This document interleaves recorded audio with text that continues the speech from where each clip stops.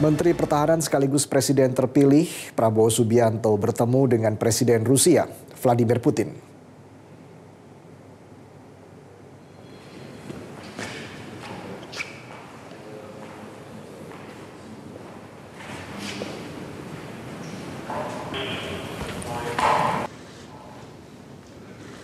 Prabowo disambut Putin di Istana Kremlin di Moskow, Rusia. Pertemuan digelar untuk memperkuat hubungan bilateral Indonesia-Rusia. Salah satu yang dibahas adalah hubungan perdagangan dan ekonomi antara kedua negara. Menurut Putin, hubungan ekonomi dan perdagangan antara kedua negara telah meningkat secara signifikan dalam beberapa tahun terakhir. Putin juga berharap di bawah kepemimpinan Prabowo, kerjasama Indonesia dengan Rusia dapat dipertahankan dan mendapatkan momentum baru.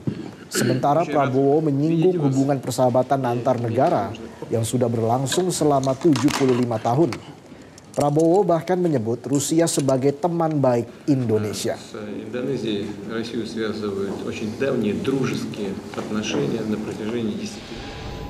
Sebelum bertemu dengan Putin, Prabowo bertemu dengan Menteri Pertahanan Federasi Rusia Andrei Belusov Pertemuan ini membahas berbagai isu penting terkait kerjasama pertahanan kedua negara.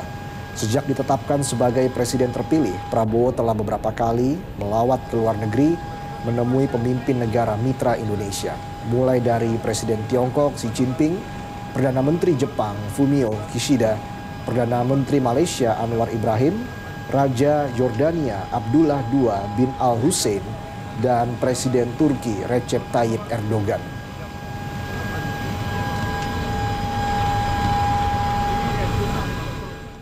Jelajahi cara baru mendapatkan informasi. Download Metro TV Extend sekarang.